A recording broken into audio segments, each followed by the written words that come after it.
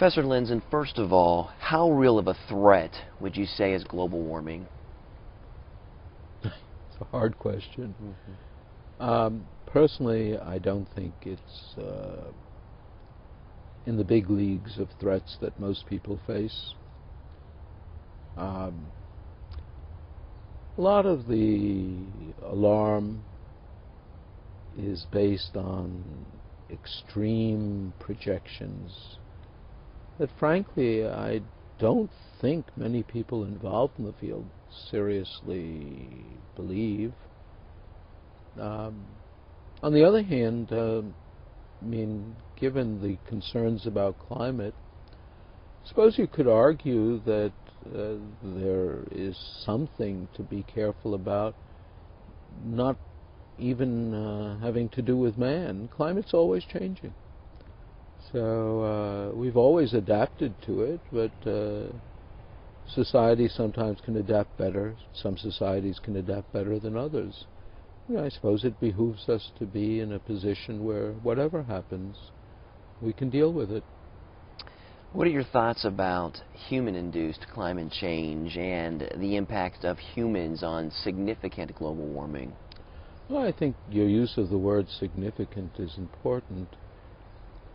People don't quite realize that um, carbon dioxide itself is unlikely to produce a lot of warming. Moreover, um, what we've seen so far is even less than we would have expected carbon dioxide to have produced and on top of that, uh, we're by no means convinced that what we've seen over the last century is due to carbon dioxide. So, on the face of it, the evidence is pretty meager. Uh, there are model predictions uh, that suggest you get a lot of warming, but those are behaving in a curious way, and I, again, I don't think it's fully appreciated. Um, in these models, CO2 seems to cause much more warming because the main greenhouse substances in the atmosphere, which are water vapor and clouds, act to take anything we do and make it much worse. Um, I mean, you know, within this scientific community, mm-hmm. uh, you'd be accused of being metaphysical, but essentially the alarm is based on the notion that the earth is very badly designed and without man's intervention would fall apart. And you believe just the opposite of that. Oh, I think the case is pretty strong that in fact it is better designed and that there are strong negative feedbacks that will, instead of amplify, diminish the effect of man's emissions. So you believe the Creator knew what He was doing when He created the earth? I won't go out on a limb on uh, the Creator and so on, but you know, how shall I put it? Even if you don't believe, uh, for instance, uh, one of the arguments uh, between, let's say, uh, intelligent design and creationism uh, and evolution is can such well designed things like the eye arise from evolution or do they require intervention? The fact of the matter is both sides recognize that it's beautifully designed. With respect to climate, uh, we're assuming it's very badly designed. Mm-hmm. Do humans, do we have any role in climate change? Oh, how should I put it?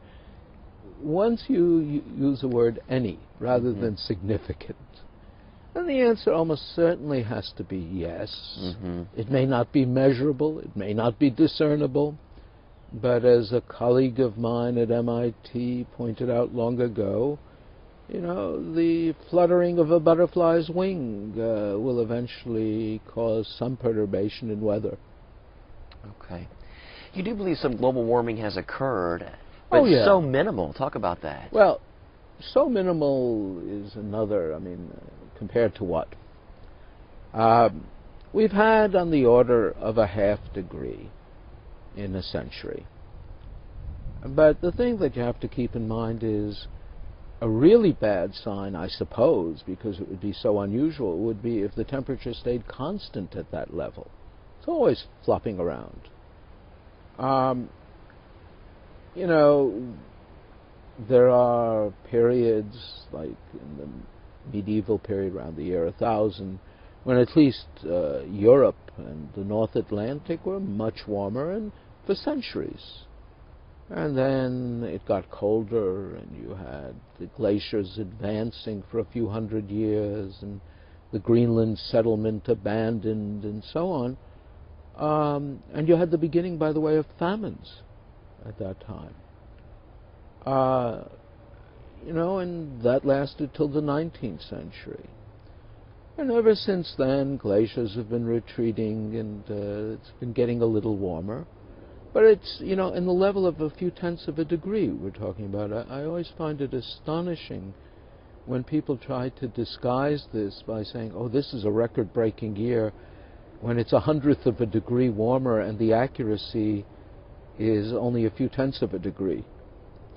Um, yeah, it's uh, relatively small, and I, you know, despite Al Gore screaming about the glaciers in Greenland and so on, that's not going to come from that half degree. And yes, Alaska has warmed a couple of degrees, but northern Canada has cooled a few. That's always happening.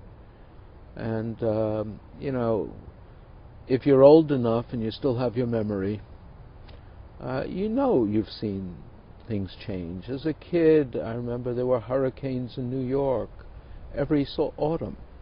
There haven't been hurricanes in New York in a while. And, you know, there have been one or two in recent decades, but it's no longer an annual event. Uh, maybe it'll return. Well, that brings us to this hurricane season. Advocates of global warming, they think that we're going to see, you know, more intense hurricanes, maybe even more hurricanes. What are your thoughts? What do you think we're going to see on this? What are we going to see this hurricane season? Uh, as somebody once said, I don't know if it was Niels Bohr or Yogi Berra, uh, prediction is very hard, especially when it deals with the future. Uh, the NOAA forecast is for an above average hurricane season, but fewer intense hurricanes than last season. The scale of these forecasts is not overwhelming, but it does look like we're returning to the pattern of the 40s and 50s and 30s, which were more hurricanes. Is this a result of global warming? Wasn't before, I don't see why it should be now. I mean, it would be as though without global warming, the world would have stopped dead in 1960. That seems implausible. We've had this before. I mean, as far as the Arctic goes, uh, it's still the case, I think. 1939 was the peak temperature. As far as in the, in the 20th century, 1939? yeah. Okay. Um, was that an exceptional time as far as for industry output and emissions and all that that you recall? Uh, no, and you know, you're not responding to emissions, you're responding to the amount in the air. And the amount in the air at that time was still relatively small. Okay. What about sea level rise? What do you, what's your thoughts on sea level rise? Are we going to see more of that in the future Well, I'm. because of global Oh, warming? that's another qualification. We've seen sea level rise at a fairly steady rate for the last 12,000 years, 18,000 years, as the Ice Age ended. So you don't think it can be pinned on global warming? Well, it is, in a sense. We got warmer after the end of the last ice age. But I mean, uh, so there has been melting. Uh, you know, it's on the order of a, what is it, a centimeter a decade. I'll get caught short if I have the wrong number, but it's a small amount. It's hard to measure. It's also relatively small compared to the normal sea level changes at any given location let's say the largest changes in sea level at any given location tend to be due to tectonics. to the Earth moving up and down relative to the sea. Uh, and one reason it's hard to measure the steady secular rise is it's such a small residual. Um, there's no evidence of acceleration of this. So, So what the alarmists, as you call them, are saying is this is what they're preaching, so to speak. Is this an unproven phenomenon? Is this junk science? I don't want to get into name calling on this, but yeah, sure. I mean, there's nothing happening in the sea level rise that would warrant a statement we're heading into something new. I mean, overall, what what the alarmists are saying, just as far as global Well, warming. at the beginning, I mean, the reason they picked this is to tell somebody they're going to see a half degree increase in temperature. That doesn't have much power. I mean, that's the only thing we're really talking about seriously. And people know they have vastly more than that between day and night and spring and fall and summer and winter. And so, what's the big deal? So I think the sea level rise from the beginning, 20 years ago, was picked because it was good for videos. It gave you a visual, and people could respond to it. It had nothing to do with it being a real problem. So would you call it junk science then? What's being preached on the other side? I would say it is intentionally alarming. Why is it intentionally alarming? Why are we seeing this? Well, in some ways, your guess may be as good as mine. I mean, I've looked at the history of it. I, I think it, it started, uh, how shall I put it, innocently enough. I mean, you know, it probably was some lab directors and administrators who thought, how could they get a bigger piece of the pie for climate studies? and uh, there's always a tendency to oversell these things a bit. But I don't think anyone quite anticipated it, it would have that resonance with certain politicians that it has had. And so I think the whole thing got out of hand. By now, I mean, you have at least one political party that's committed to one side of this issue and treating, you know, anyone who questions it as a flat earther or a Holocaust denier or who knows what. And so they've intimidated a lot of people who don't understand science.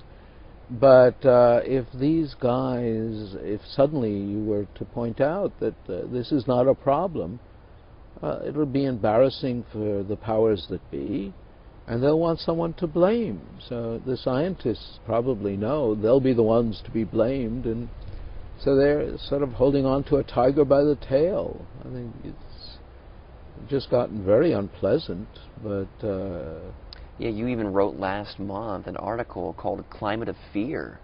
What exactly did you mean by that, or how is this issue? I didn't choose the title, No, but there is intimidation. There's no question about it. Um, you know, even when Gore was a senator, he was chair of a committee that overlooked the funding of major science programs, major agencies, NSF, NASA, and so on. And he had already gotten on this hobby horse about global warming. And people who objected to him, I mean, he hauled them before his committee. No other senator showed up. That's absolutely unique and just worked away to get a recantation in front of the agency heads who are funding you. And uh, yeah, that's not a nice procedure. And moreover, the professional societies, uh, you know, felt so indebted to his interest that nobody stood up and bailed you out. The, the only person who actually came close to standing up and saying this is not the way to go was Mhm. Ted Koppel, who Gore had asked uh, to dig up dirt on anyone who questioned Gore's science. And Koppel objected on the air Mhm. and ran a program on, you know, what the argument was about. Um, but uh, there's no question that Gore was not just asking Ted Koppel. Mhm. I mean, he's made it a personal uh, crusade. I mean, one of the most idiotic parts of it was he always refers to a man called Roger Revelle, who had been a professor at Harvard and uh, who first told him about increasing CO2 in a class. Now, Roger Revelle always, to his dying day, felt it was interesting to see what would happen, but he was far from an alarmist. And indeed, he contributed to an article a year or so before he died saying that, that uh, it was much too uncertain to engage in any particular mitigation efforts. And uh, uh, one of Gore's uh, flunkies actually tried to sue someone to take Roger Revelle's name off that article. Mm. Uh, not sue, but he, you know, he kept doing. The person who he did this to did sue and win. Mm. wow. But uh, that's a tedious procedure. Okay. I wanted to refer to that article that you wrote. Um, you write in here, but there is a more sinister side to this feeding frenzy. Scientists who dissent from the alarmism have seen their grant funds disappear, yeah. their work derided, and themselves libeled as industry stooges, scientific hacks, or worse. Oh yeah.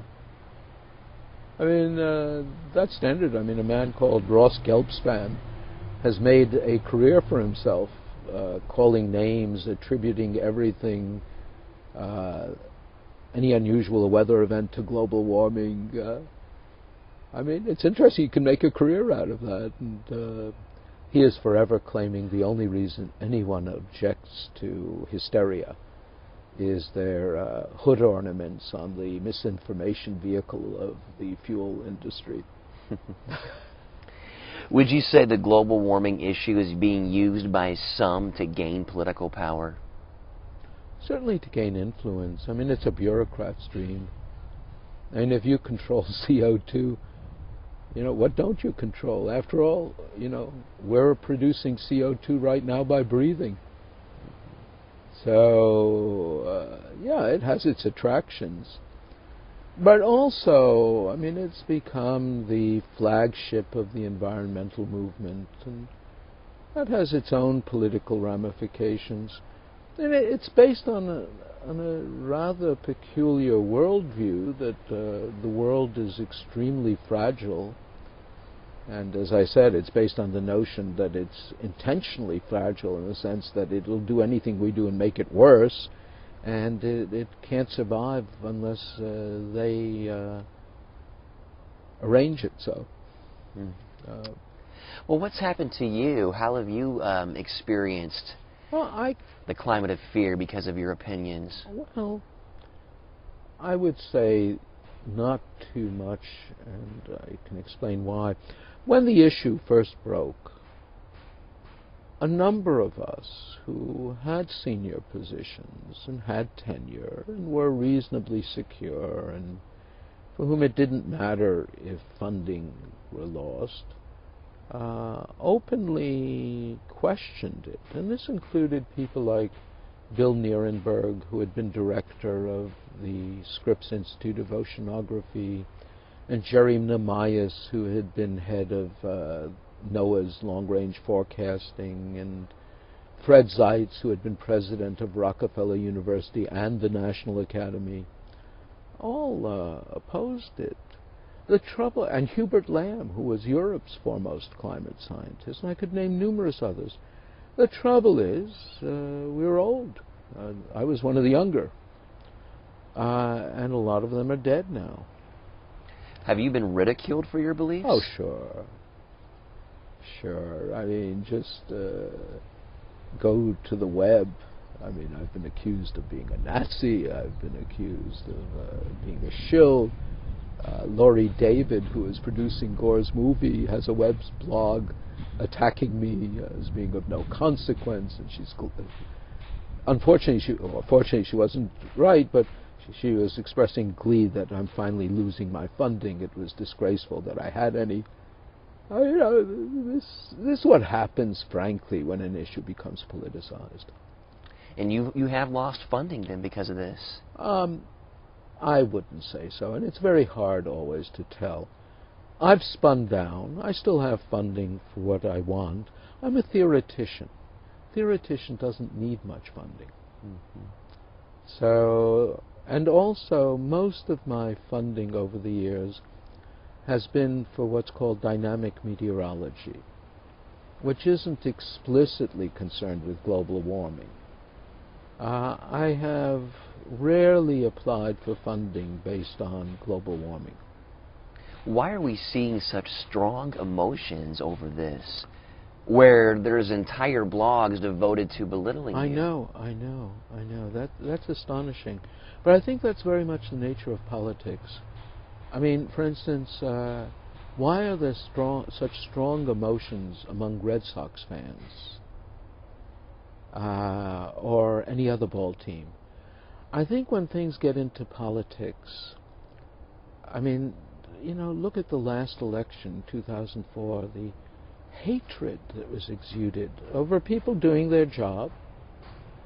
Uh, you know, it was their team versus some other team. I can't explain it beyond that. Because clearly, clearly, people don't understand the issue who are emoting in this way. And the people who wanted to promote alarm from the beginning, I mean, 1988 Newsweek, they said all scientists agree. And the purpose of that is to sort of uh, intimidate most people who don't know about science. Mm-hmm. Because once you say all scientists agree, then you know you don't want to be looking stupid. You don't agree, so you say, "I agree, I Mhm. agree." Um, and even for scientists, if it's not their field, if they're told uh, all people in one field agree, you know, out of collegiality, they'll go along. So you get a huge amplification of the agreement without any core except your propaganda.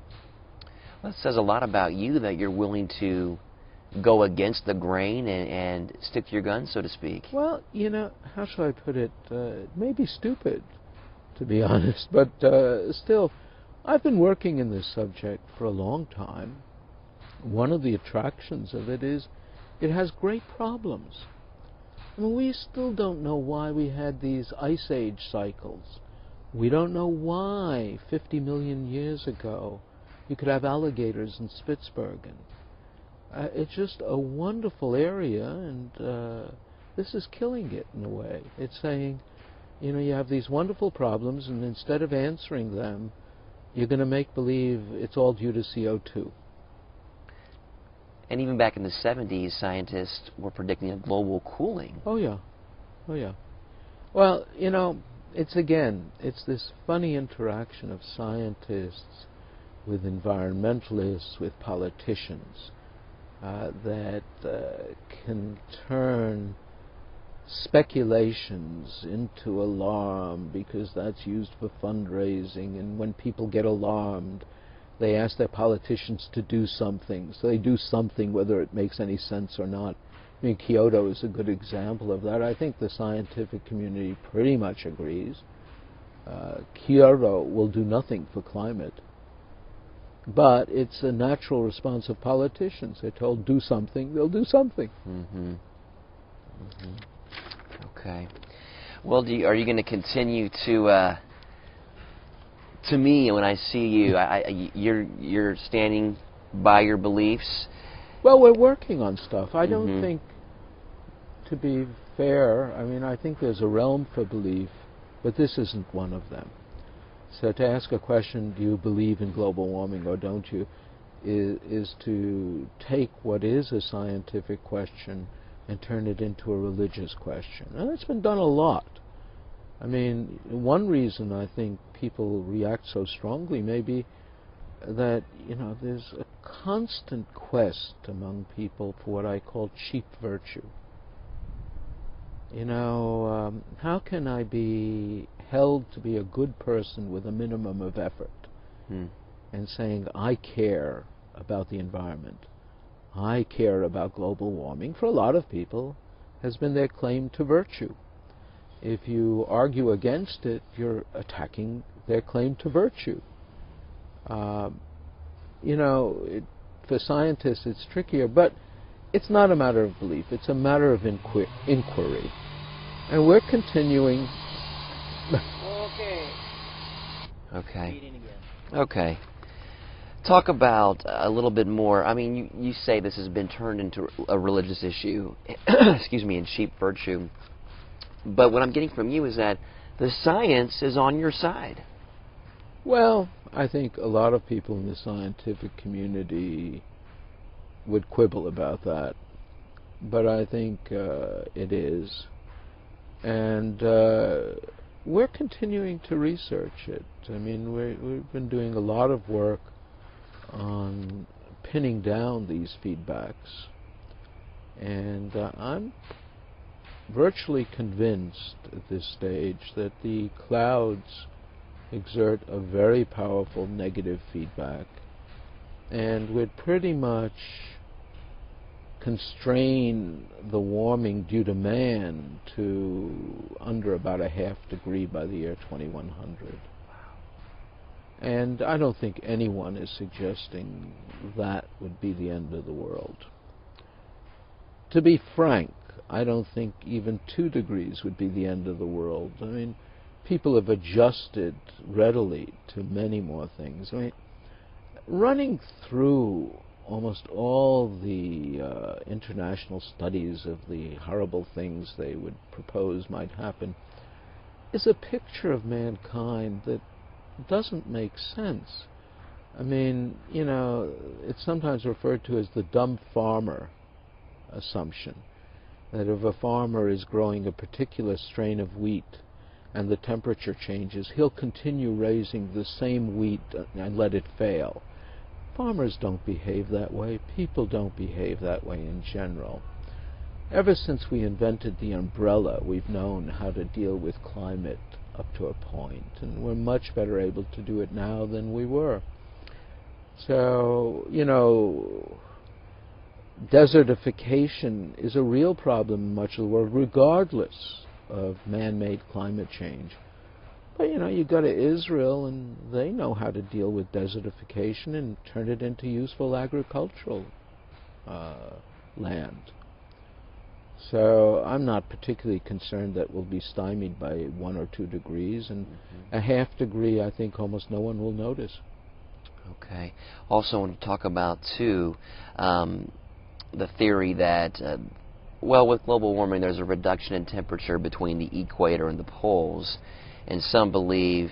I want to talk about that, and then I also want to talk about the evaporation theory somehow causing okay. more storms. Talk first about the reduction in temperature. Okay that actually would mean less storms, yeah. correct? Talk about that. What? Well, where we live, between about 30 degrees north and the pole, uh, storms usually are generated by the temperature gradient between the tropics and the pole.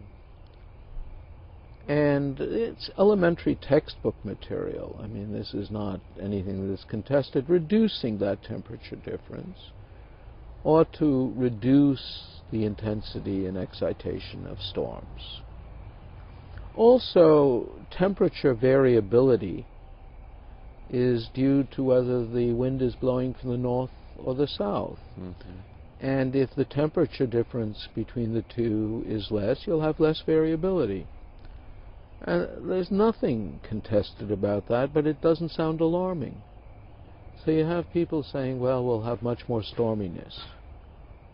Well, there's nothing in our knowledge base that tells us that, but a gentleman, John Houghton, who was head of the Intergovernmental Panel on Climate Change Scientific Assessment, wasn't a scientist, an engineer, but I mean, he said, oh, well, a warmer world will have more evaporation and that'll cause more storms. Well, that is not a major factor for most storms in the north, you know, in the extratropics. And so that didn't make any sense. It could be argued in the tropics, but there are technical reasons why I would think it would not be a simple argument.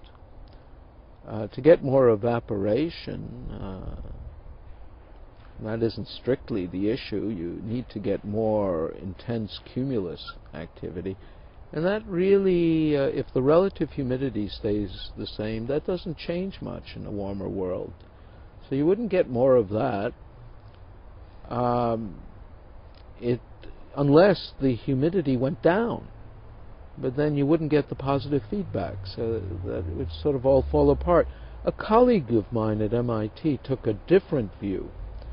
He said, let's consider a hurricane as a thermodynamic engine, something called a Carnot cycle.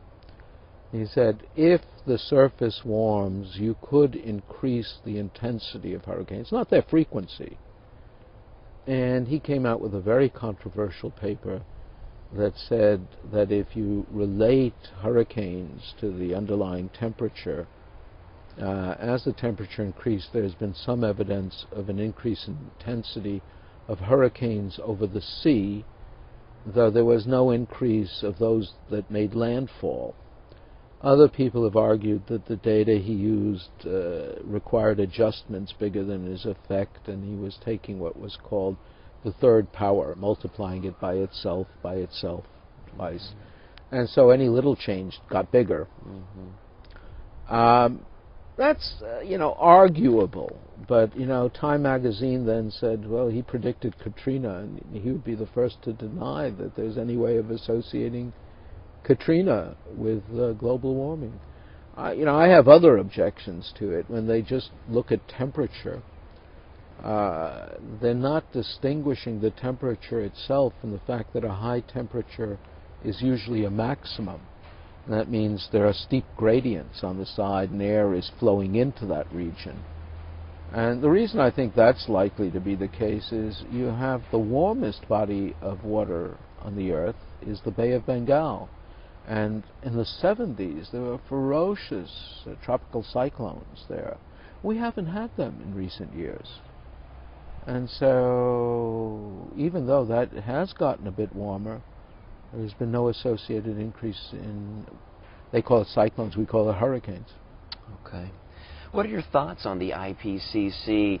Um, advocates of global warming, they uh, periodic or many times refer to the science yeah. coming from that organization. What do you think about the IPCC? Look, uh, I contributed to the first three, and I was a lead author on the third. It's a funny sort of operation. I mean, it's it's a little bit tilted. I wouldn't say it's phenomenally tilted. The worst thing about it is uh, you you go around the earth two three times traveling from meeting to meeting to write two pages. It's a kind of waste of time. And so I think a lot of people on both sides of the issue don't want to participate because they have better things to do. So it tends to be, on the whole, not a quality operation. The second thing is it's the United Nations. And so uh, there aren't too many countries with outstanding research teams. I'm going to stop you right there. Garbage day. Yeah.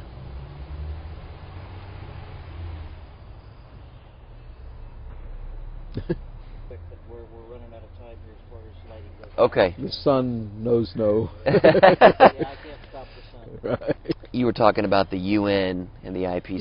Yeah.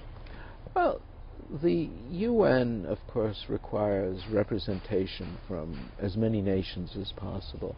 That guarantees the IPCC is heavily filled with people from areas that don't have strong research efforts. Um, it's not, I would say. I, it's it is. In the middle of a busy city like this is very nice. Well, this place is not okay. so busy. Yeah. Okay. you. you wanted to say a little bit more about the UN and the IPCC. Yeah. Yeah. So you have a lot of representation from countries that do not have uh, much in the way of an effort, but nevertheless, you take a little field like climate science. And it is a little field, and it's not a strong field. To say, you know, the, the towering figures in science didn't work in climate, to be honest.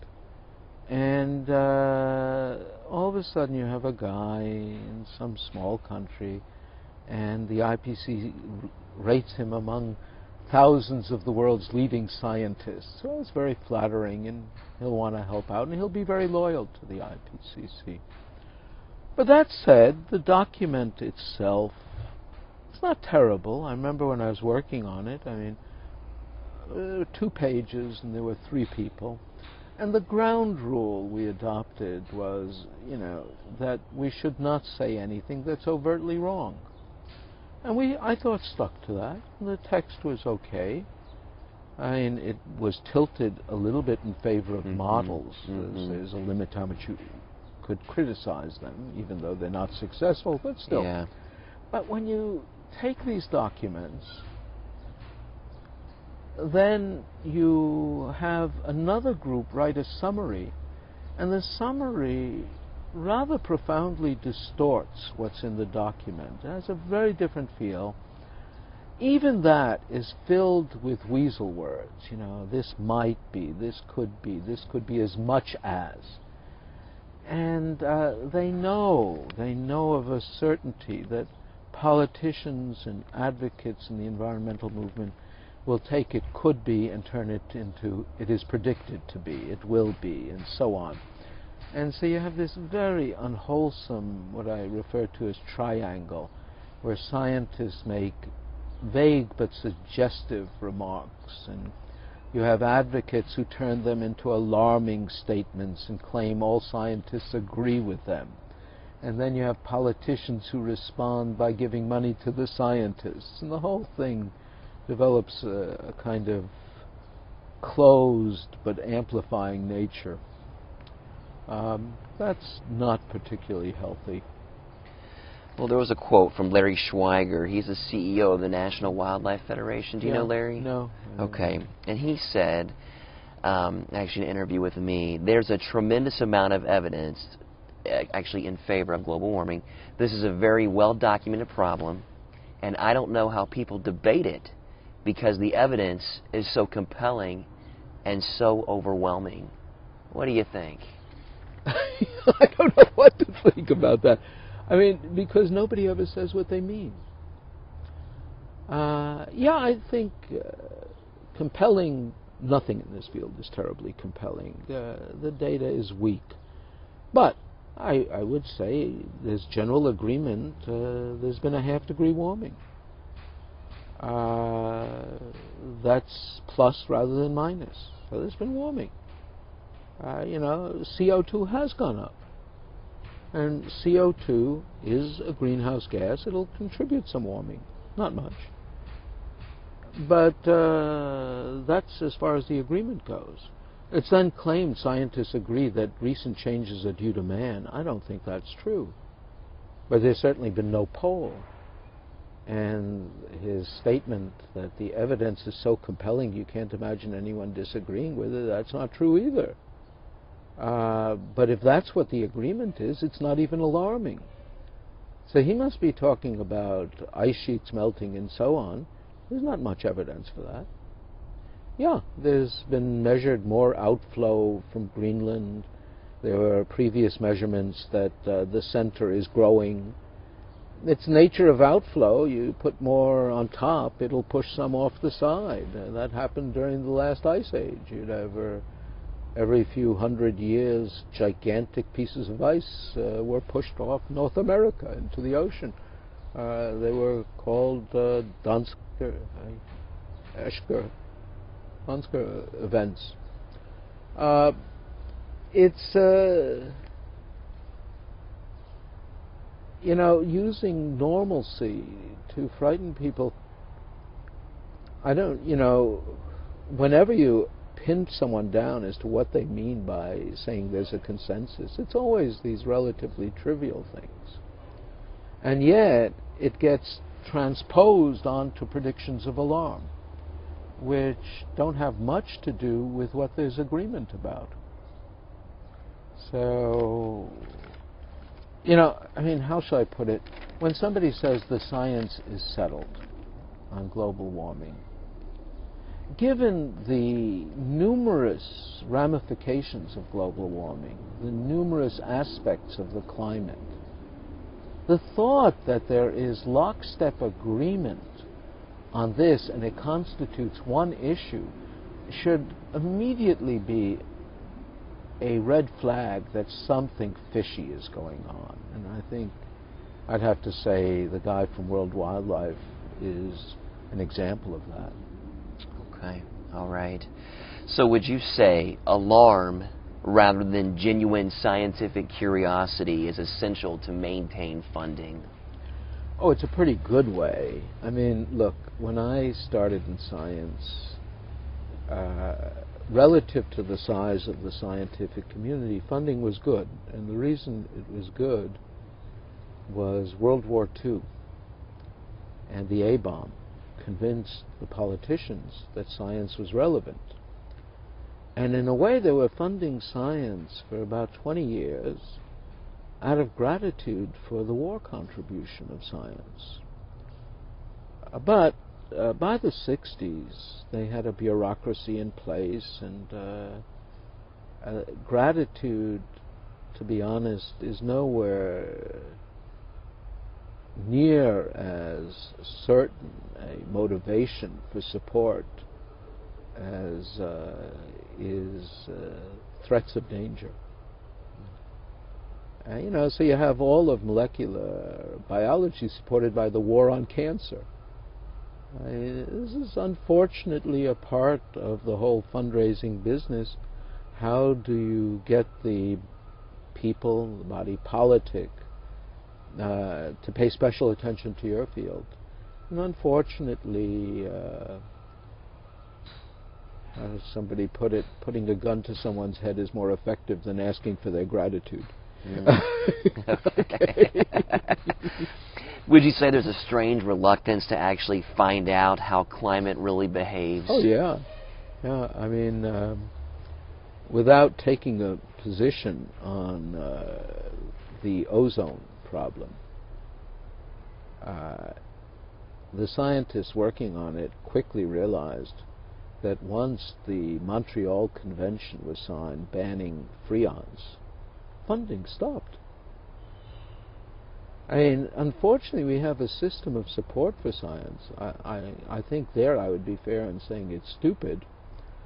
Uh, the reward for solving a problem is having your funding end because the problem is solved. There's something in the incentive structure there which is not entirely correct. Mm-hmm. is there anything else you want to say? Is there anything else you want to get across about all this? I mean, I'm content not to get anything across on it, to be honest. But if there are any other questions you have, I'd be glad to answer them. I mean, obviously, you're willing to take the time to do this interview today, so sure. you want the misconceptions oh, cleared look, up. I would love to see the atmosphere for doing climate studies and climate science uh, cleared in my lifetime. Um, but there's also an issue as a citizen I, think uh, people are being manipulated, and uh, as I think an Indian representative put it quite well. I mean, they have to worry about poverty. This isn't high on their list. They have plenty of things that really warrant worry. To devote our worry to things that aren't real is a waste of a resource, and in some ways, environmentalism should be about not wasting resources. Mm-hmm. Excellent. Okay. Thank you. Anything else you want to say? Okay. okay. What Stan's going to do now is going to get a couple shots okay. of you and I communicating. Broken down and said, okay, we go along. And we'll be stewards of our environment. Mm-hmm. The environmental movement says, you see, if these people even agree to it, it must be true. And so they become a witness to it. And that's happened time and again. CEOs do this all the time. They say, I give up. My wife wants to go to the country club and not be attacked, so we'll show our green credentials. And then immediately people turn around and say, if they're willing to agree, it must be true. What are your thoughts about evangelicals who signed the Evangelical Climate Initiative who have come out basically on the side of liberals on this issue? Well, I think it's undoubtedly well meant, but I think it's profoundly misguided and it's being used in a way that I don't think they intended. And as we've discussed, the underlying notion in climate change. Sorry, I can't Yeah, with the- Now the wind is coming. Okay. That's right. Okay. Okay. Okay. What are your thoughts about evangelicals who signed the Evangelical Climate Initiative, who are essentially on the side of liberals on this issue? I'm not so concerned about them being on the side of liberals as on their being perhaps misguided and misused. Uh, you know, I can understand the position if it's presented to someone. Let's let's do that do that over again. Just I want to ask the question a little bit better. Okay. Well, the Plus we got airplane. the plane too. What are your thoughts on evangelicals who have joined this cause? Well, I, I think that they may mean well, but I think uh, they are clearly not really aware of what the issue involves. And two, I, I don't think they're aware of how their position is being used by others. So, for example, uh, you know, we've discussed this that underlying global warming is the notion that carbon dioxide, although it itself doesn't do much, is happening in a world that takes anything we do and makes it worse. Now, a well engineered device tries to compensate for anything that perturbs it. Uh, the assumption here is this is a very badly engineered world. I don't think they are thinking that way. I think they're thinking in terms of stewardship, and the world is being threatened, and one should do one's best to take care of it. And that's, of course, a reasonable thing, but it's not scientifically reasonable. In addition to that, uh, it helps get, I think, evangelicals off the hook in a sense. I mean, they're constantly attacked in the press for creationism, for this, for that, for not being with it. And here they can be with it, and seemingly without violating their conscience. Although I think if they thought about it, they'd realize even this issue isn't free of that. But then the environmentalists and advocates use it in a totally different way. They say, look, if evangelicals agree, all of a sudden, if they agree, it must be true. And so they become witnesses and evidence, not just going along for the ride. And the same thing has happened with CEOs in major firms, oil firms, British Petroleum. You know, they are tired of being battered as not caring about the earth. So they uh, say, okay, we agree, we agree, all scientists agree, we'll agree too. And all of a sudden it gets used saying, well, listen, if even the CEO of British Petroleum, or Beyond Petroleum, what they're calling themselves now, agree, it must be true. So again, they are transformed into witnesses to something they don't understand, don't know, and uh, have nothing really to do with. So in essence, these people you think are misguided and are actually helping to further a political cause. Oh yes, without doubt. Okay. All right. Anything else you want to say?